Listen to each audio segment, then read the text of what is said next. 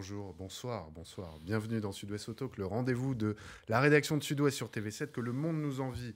Vous le savez, hein, ça fait quelques semaines que ça dure. On est plongé dans le bouillon des élections municipales. Cette semaine, nous recevons Pierre Urmic. Bonsoir, Pierre bonsoir.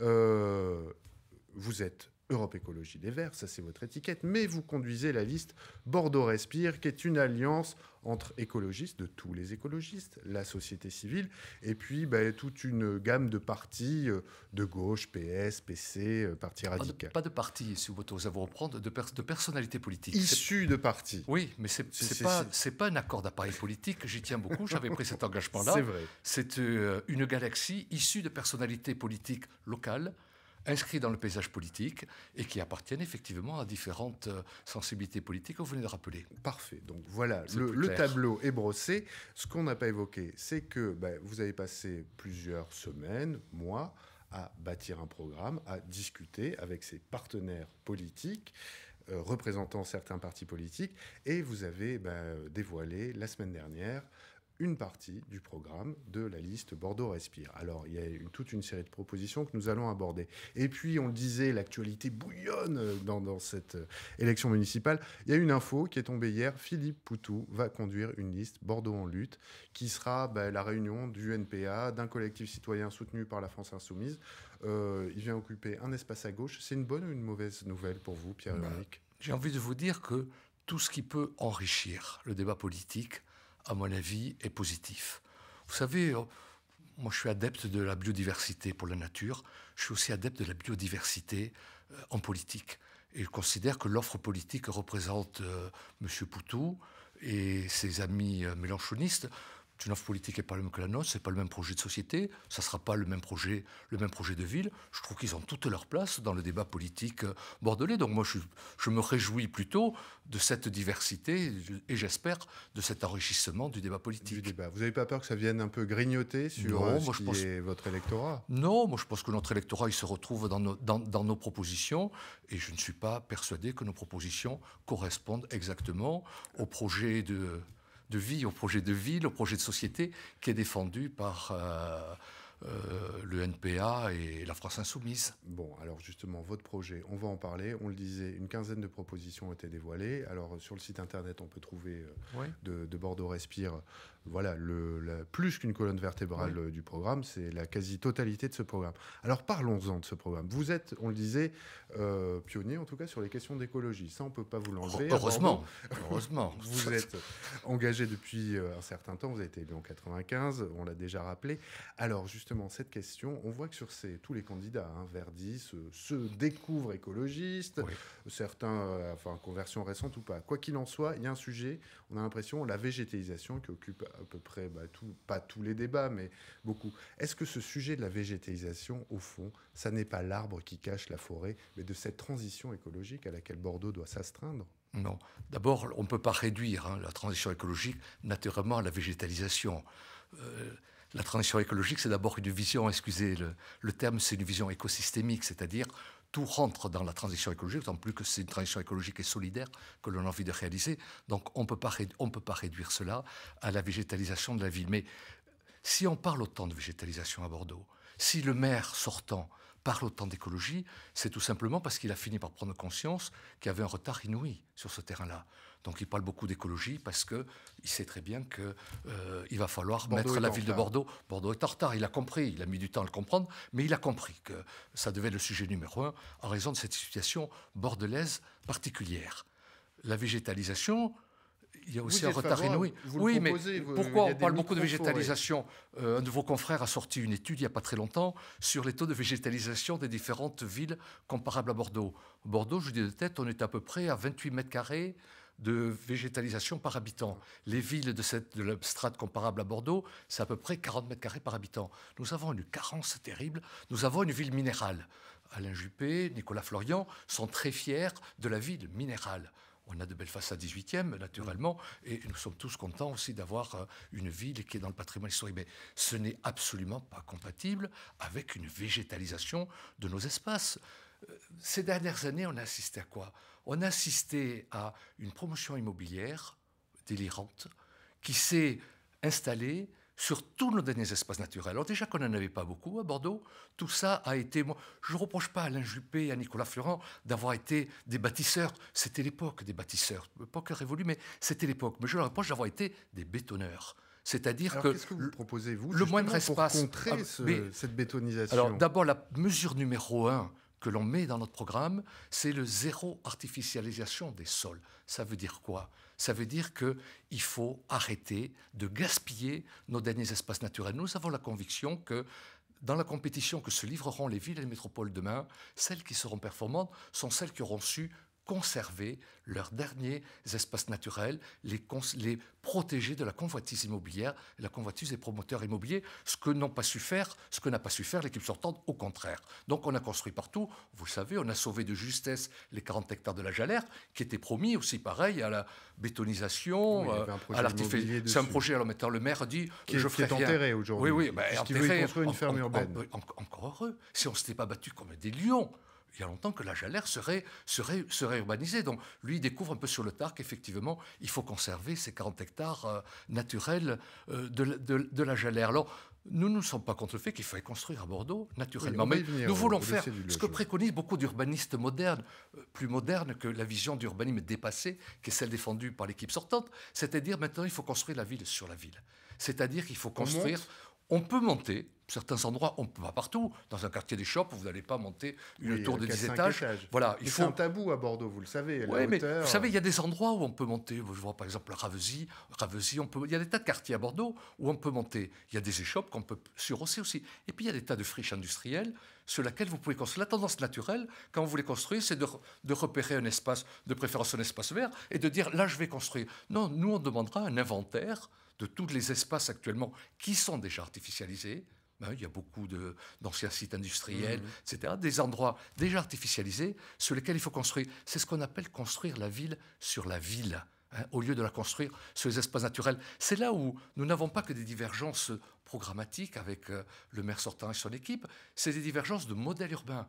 Eux, ils vont défendre encore le modèle urbain. Ils ont encore dans le tiroir des tas de permis de construire sur nos dernières zones naturelles. Je ne serais même pas étonné qu'au lendemain de l'élection, euh, ils ressortent leur projet d'urbanisation de la Jalais.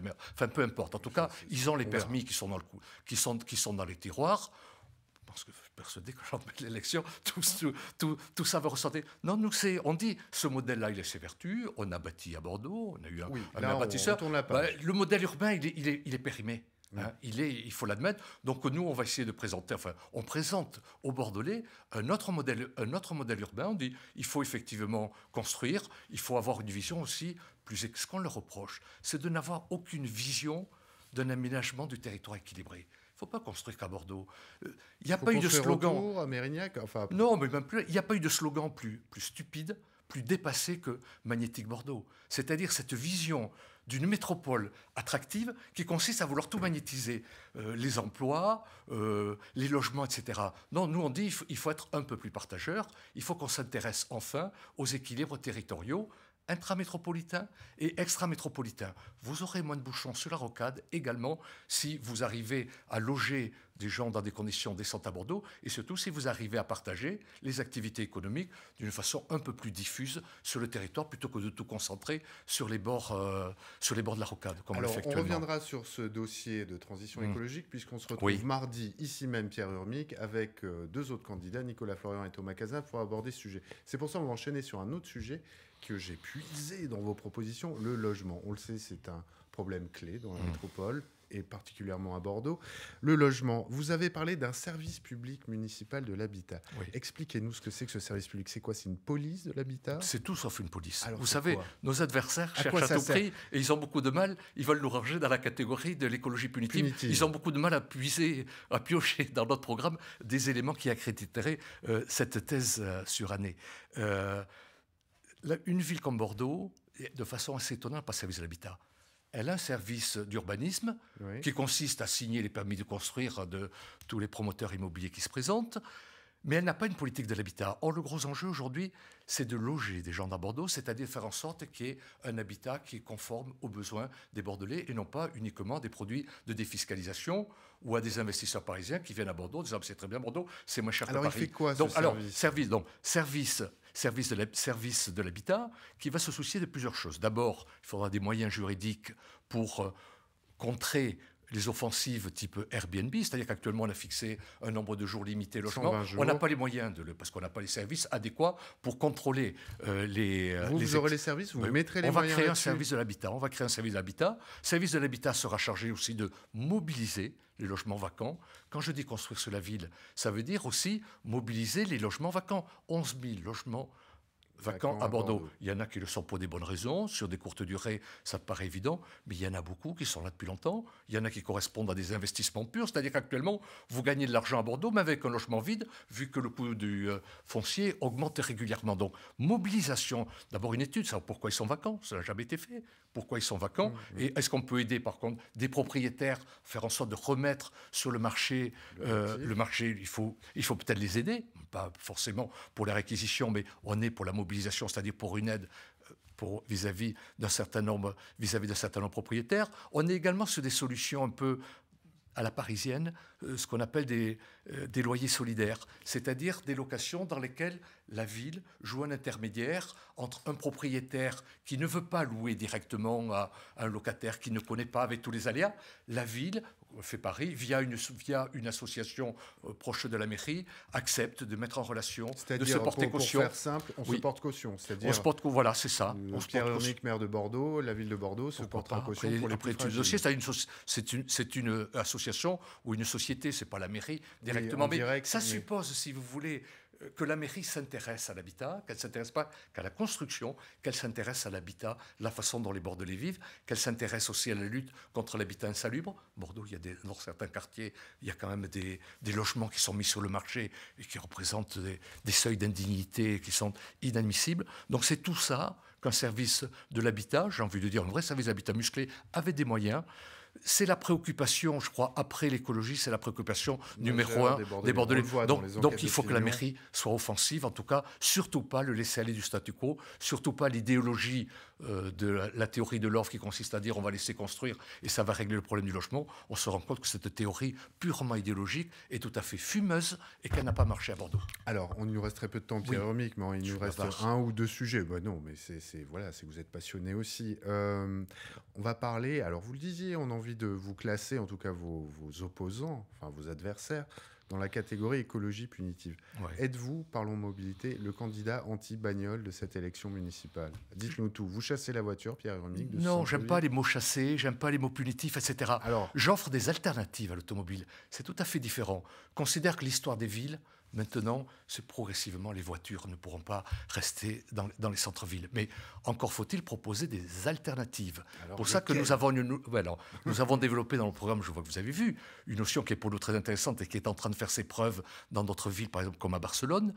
Euh, c'est des quartiers apaisés, c'est-à-dire des quartiers dans lesquels la, la voiture, l'espace est rendu aux riverains. C'est-à-dire trop de quartiers à Bordeaux ont des rues qui se sont transformées en routes, surtout maintenant avec euh, des applications type Waze où tout le monde recherche un itinéraire malin. Oui, oui. Donc beaucoup de routes maintenant, de rues, sont devenues des routes et sont vampirisées par le trafic automobile. La notion de quartier apaisé consiste à dire il faut rendre la rue aux riverains. C'est-à-dire il faut retresser la chaussée, il faut faire en sorte que ce ne soit pas un itinéraire de l'estage, c'est-à-dire on peut mettre des sens interdits, on peut compliquer la circulation, on fait de larges trottoirs, on fait en sorte que les vélos puissent circuler tranquillement dans cet espace, dans cet espace-là, des jeux pour, des jeux pour enfants, on sécurise et aussi une mesure à laquelle on est très attaché, mais qui n'est pas du tout punitive, c'est de dire que dans tous les aménagements urbains, désormais, ça c'est dans notre programme, 50% de l'aménagement urbain sera consacré aux mobilités actives, aux mobilités tout douces, à la marche au papier. Marche à pied. Voilà, c'est le contraire de ce qui se fait actuellement. Actuellement, pour vous donner deux chiffres qui me paraissent significatifs, la voiture à Bordeaux, ça représente 29% des déplacements.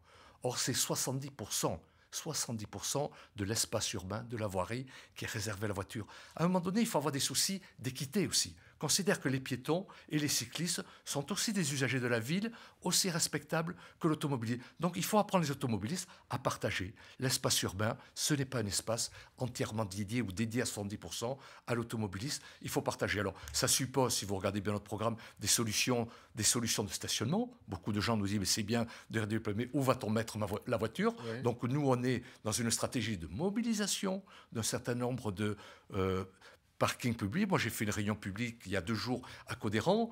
Et vous observerez qu'à Codéran, vous avez euh, le parc de stationnement de la cité administrative qui le soir vide. Le soir est vide. Le maire de Bordeaux a été incapable d'imposer à l'État une mutualisation de ce parking pour que le soir venu, quand les fonctionnaires sont partis, on puisse s'y garer. Mais il y a des tas d'emplacements comme ça à Bordeaux qui appartiennent ou à des administrations ou à des commerces où on peut mutualiser. Il faut que les voitures se mettent quelque part. Il y a les parcs relais aussi, parcs relais qui peuvent être mobilisés pour des stationnements de riverains. Tous les gens n'ont pas besoin d'avoir systématiquement la voiture garée devant chez eux. Je vous promets que les jours de canicule, il vaut mieux avoir devant chez vous un arbre, un quartier apaisé plutôt que de tenir à tout prix que votre voiture soit garée devant chez vous. C'est des priorités, je crois qu'elles sont partagées par beaucoup de Bordelais. Une dernière question euh, très, très rapide, Pierre Remic, on a déjà dépassé le temps imparti. Alors évidemment, vous savez, on parle beaucoup en cette période. Le premier tour n'a pas eu lieu, que déjà on parle de l'entre-deux tours. Est-ce qu'à l'entre-deux tours, vous serez prêt à faire une alliance avec un candidat, pourquoi pas Thomas Cazenave, pour faire euh, des choix, Nicolas Florian, s'il arrive en tête? Alors, je ne crois pas aux alliances d'appareil. D'abord parce que ça ne marche pas. Et, ensuite, ce n'est pas dans mon tempérament. Si je vous ai dit au début que notre liste, euh, avec une large biodiversité que vous avez rappelée, n'était pas une fruit de discussion d'appareils. Donc, on ne va pas discuter avec les appareils politiques.